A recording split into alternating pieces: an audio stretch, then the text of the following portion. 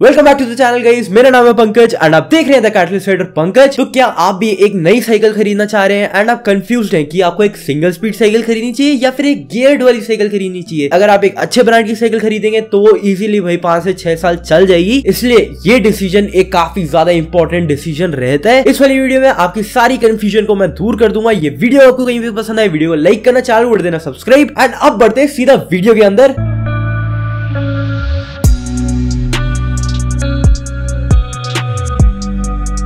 अभी gait cycle में basically थोड़े ज़्यादा कंपोनेंट्स होते हैं। कहने का मतलब है आपके हैंडल बार के ऊपर लगे होंगे शिफ्टर्स उसका जब नीचे जाएँगे तो भाई आपके पैरों में होते हैं पेडल्स एंड ये जुड़े हुए होते हैं क्रैंक सेट से। क्रैंक सेट जुड़ा हुआ होता है आपकी साइकिल के फ्रेम से बॉटम ब्रैकेट की मदद से। इसके ऊपर चलती है भाई एक चेन जो की कनेक्टेड होती है आपके कैसेट या फिर फ्री व्हील से। एंड वहीं पे होते हैं डिरेलर्स एक फ्रंट में लगा होता है क्रैंक सेट के ऊपर एंड एक रेड साइड में लगा होता है फ्री व्हील के ऊपर। अब जब इतने सारे कॉम्पोनेंट्स आ जाते हैं ना तो इन सारे कॉम्पोनेट्स की वजह से जो आपकी साइकिल का प्राइस है वो भी इंक्रीज हो जाता है। एंड इसी वजह से जो गेयर साइकिल है, ये एक नॉर्मल सिंगल स्पीड साइकिल के कंपैरिजन में थोड़ी सी महँगी होती है। अब सिंस इतने ज़्यादा कंपोनेंट्स होते हैं ना, एक गियर साइकिल के अंदर तो एक गियर साइकिल का जो वेट होता है ना, वो भी एक नॉर्मल साइकिल के कंपैरिजन में थोड़ा सा ज़्यादा होता है। इसी वजह से भाई मार्केट में आपको काफ़ी ज़्यादा एक्सपेंसिव गियर साइकिल्स भी देखने को मिलेंगी, जिनका वेट ना एक नॉर्मल सिंगल स्पीड साइकिल से भी कम होता है। तो ऐसी बात नहीं है गियर वाली भारी ही होती है। तो स्टार्टिंग में मेरे पास भी भाई दो तीन साल तक एक सिंगल स्पीड हरकुलस की साइकिल हुआ करती थी। उसके बाद भाई मैंने एक एवरेज क्वालिटी की एटलस कंपनी की साइकिल मेरे पेरेंट्स ने को दिलाई थी। एंड फिर भाई मेरे को एक काफ़ी अच्छी ब्रांड की साइकिल मिली, जो कि मैं अभी भी यूज़ करता हूँ। तो इसको बताने का मतलब यही है कि भाई मैंने हर चीज़ एक्सपीरियंस कर रखी है, एक सस्ते ब्रांड से लेकर के एक एक्सपेंसिव ब्रांड की साइकिल अब ये जो गियर्स होते हैं ना, ये बाइक या फिर कोई कार की तरह गियर्स नहीं होते हैं। तो अपने साइकिल में गियर को शिफ्ट करके एक दूसरे चेन रिंग पे पहुँच सकते हैं एंड ज़्यादा एक्स्ट्रा पावर को अप्लाई करके और एक्स्ट्रा स्पीड को अटेन कर सकते हैं। तो ये मेजर बेनिफिट होता है गियर साइकिल का। एंड इसे आप एक और तरीके के एग्ज़ाम्पल से मैं आपको समझा सकता हूँ कि जैसे आप माउंटेन्स में आपको साइकिल को चला रहे ना, एक प्लेन रोड में अगर आप एक्स अमाउंट ऑफ़ पावर लगाएँगे एंड वहीं पे माउंटेन्स में जब आप ऊपर चढ़ाई कर रहे हैं तभी उतनी पावर लगाओगे तो भाई उसमें आपकी जो ताकत है ना, वो ज़्यादा लगेगी। अब गियर साइकिल का यहाँ पे बेनिफिट ये होता है कि जो आप अपने गियर्स है ना, इसको लोअर रेंज में डाल सकते हैं एंड तब आप पेडल बहुत इजीली कर पाएँगे एंड आपकी पावर कम लगेगी, आप कम ताकत लगाएँगे एंड इजीली अपहिल में अपनी साइकिल को चढ़ा पाएँगे। तो ये एक मेजर बेनिफिट होता है, इससे आपका केडेंस बढ़ता है आरपीएम बढ़ता है। अगर बेसिक चीज़ों में समझाऊं तो एक मिनट के अंदर आप कितने पेडल्स कर सकते हैं, इससे भाई आपका आरपीएम डिसाइड होता है। गियर साइकिल के ये सारे बेनिफिट्स होते हैं। अब बात करें एक सिंगल स्पीड साइकिल की तो एक सिंगल स्पीड साइकिल का मतलब यही है कि इसमें गियर्स नहीं लगे होते हैं बट इसमें भी भाई दो तरीके की सिंगल स्पीड साइकिल होती है। एक जो नॉर्मल साइकिल होती है, जो कि हर जगह आपको देखने को मिलती है एंड एक दूसरे तरीके की साइकिल होती है, जो कि है फिक्स सी साइकिल ये ना डायरेक्टली आपके फ्री व्हील में अटैच नहीं होती है ये सीधा आपके टायर्स में अटैच होती है एंड जितना आप पेडल करेंगे, इसकी जो स्पीड है,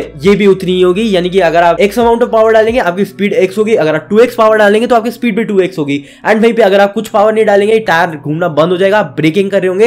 एंड इसे एक तरीके से आप ब्रेकलेस साइकिल भी बोल सकते हैं सिंस भाई इसमें इतने सारे कॉम्पोनेंट्स नहीं होते हैं सिंगल स्पीड साइकिल का, जो प्राइस है, ये कम होता है। एक गियर साइकिल जहाँ पंद्रह बीस हज़ार से अच्छे ब्रांड की, अच्छे कंपोनेंट्स वाली शुरू होती है, वहीं पे एक अच्छे ब्रांड की जो सिंगल स्पीड साइकिल होगी ना, ये दस पंद्रह हज़ार रुपए में आके खत्म हो जाती है। तो इतना ज़्यादा भाई फ़र्क होता है एक सिंगल स्पीड एंड एक गियर साइकिल के अंदर। अब बात करते हैं भाई साइकिल की मेंटेनेंस के बारे में कि कितना खर्चा लग जाता है एक साइकिल को मेंटेन करने में। सबसे पहले बात करते हैं एक सिंगल स्पीड साइकिल के बारे में। सिंस इस साइकिल में इतने ज़्यादा कॉम्पोनेंट्स नहीं होते तो अगर आप इसमें बेसिक मेंटेनेंस भी करते रहते हैं तो भी काम चलता ही है। एंड इसको भाई रेगुलर मेंटेनेंस की इतनी ज़्यादा ज़रूरत नहीं पड़ती है। वहीं पर बात करें भाई एक गियर साइकिल की तो गियर साइकिल में भी अगर आप बेसिक मेंटेनेंस फॉलो करें, उससे ज़्यादा आपको कुछ भी करने की ज़रूरत नहीं है। अंटिल एनलेस आपकी साइकिल खराब हो जाए। बेसिक मेंटेनेंस के बारे में आपको जानना है तो इस टॉपिक के बारे में मैंने एक डिटेल वीडियो अपने चैनल के ऊपर अपलोड करके जिसका लिंक आपको डिस्क्रिप्शन में देखने को मिल जाएगा। अब गियर साइकिल में लगे होते हैं भाई बहुत सारे कॉम्पोनेंट जैसे कि shifter front derailleur crank set bottom bracket rear derailleur ये सारी चीज़ें ना गाइस वेयर एंड टेयर की वजह से खराब हो जाती है। एंड अगर इन चीज़ों में से एक कॉम्पोनेंट आपका खराब हुआ आपकी पूरी साइकिल भाई चलना ही बंद हो जाएगी। तो इस वजह से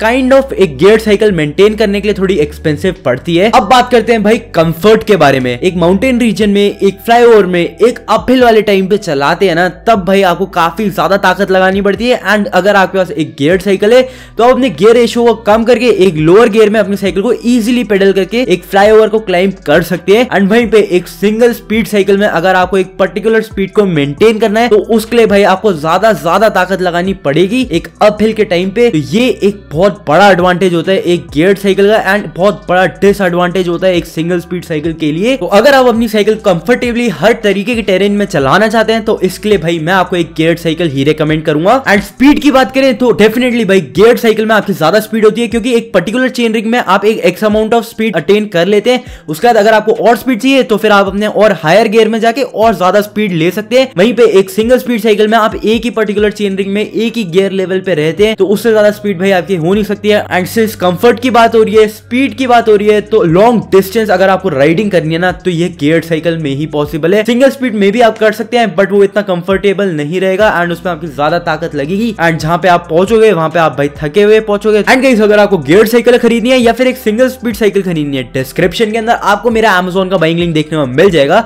उस लिंक को प्लीज़ यूज़ कर लेना। एट द एंड जब डिसीज़न लेने की बात होती है तो क्या मेन फैक्टर्स होते हैं जिसे आपको कंसिडर करना चाहिए? सबसे पहले बजट एक सिंगल स्पीड साइकिल हमेशा भाई सस्ती ही मिलेगी. एक गियर साइकिल के कंपैरिजन में. तो अगर आप ज़्यादा स्पेंड नहीं करना चाहते, आप फ़र्स्ट टाइम में साइकिलिंग में, आप चाहते हैं कि पहले मैं देखूँ एक साइकिल को चला के कि क्या मैं इसे कंटिन्यू करूँगा या फिर नहीं तो आप एक सिंगल स्पीड के साथ जा सकते हैं. बट अगर बजट आपका एक इशू नहीं है तो डेफिनेटली गाइस मैं आपको रिकमेंड करूँगा कि एक गियर साइकिल के साथ आपको जाना चाहिए. नेक्स्ट पॉइंट आता है भाई यूज़ केस क्या है? क्या आप एक कम्यूटिंग के पर्पज से साइकिल लेना चाहते हैं? अगर आपका भाई डिस्टेंस बहुत ज़्यादा है तो इस केस में भी मैं आपको एक गियर साइकिल रिकमेंड करूँगा। डिस्टेंस इतना ज़्यादा नहीं है। आपको शॉर्ट राइड्स कभी कभी करनी है, तब आप सिंगल स्पीड साइकिल के साथ जा सकते हैं।